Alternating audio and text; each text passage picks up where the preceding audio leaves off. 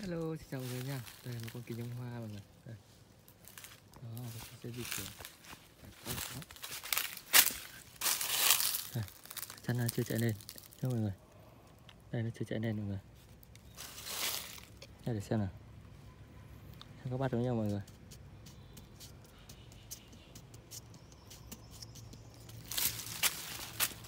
Rất nhanh nhanh Bye